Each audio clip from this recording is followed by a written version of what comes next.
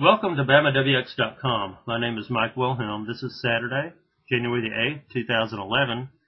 Winter storm is threatening the state of Alabama, and as I occasionally do when that happens, I like to do a little map discussion, so let's get it going. Uh, the first thing I want to look at is the current conditions. Uh, you can see over here in the state of Texas that this low pressure system that's been talked about for quite some time is now getting its act together, and there's actually thunderstorms breaking out across south and southwest Texas.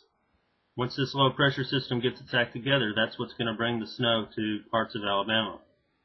Let's look at some GFS maps from the 18Z run today. A couple of things to notice are the blue critical thickness line that runs from Texas through Louisiana, northern Mississippi, northern Alabama, and the green area which represents precipitation, especially that green area just north of that blue line. That represents an area where snow is probably going to be the form of accumulation, especially in the far northern part of the state of Alabama. And where you see the darker green, that's a higher amount, that's some heavy precipitation. So heavy snow is actually not out of the question for parts of North Alabama. Now as this system begins to pull on out on Monday, the precipitation becomes lighter and the critical thickness line actually moves almost to the Alabama-Tennessee state line. But let's look now at the track of this low pressure system.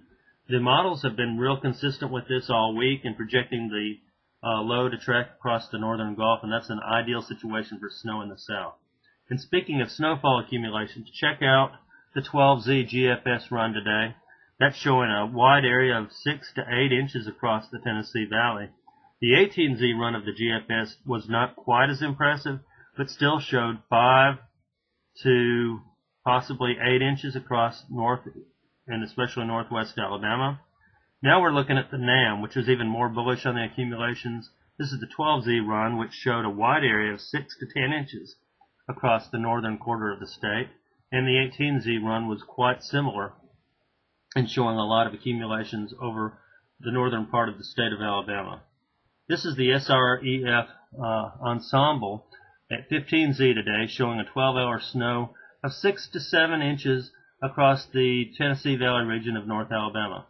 It also showed around 3 a.m. Uh, Monday morning that we have a 50% chance along the state line of having over an inch an hour of snow. And believe it or not, this is showing there's actually a 10% chance of snow falling at the rate of 2 inches per hour or more. Wouldn't that be something? This next map shows the area that's most likely to have freezing rain that lasts over three hours, uh, and that could be some serious icing problems down there in uh, central Alabama and east Alabama.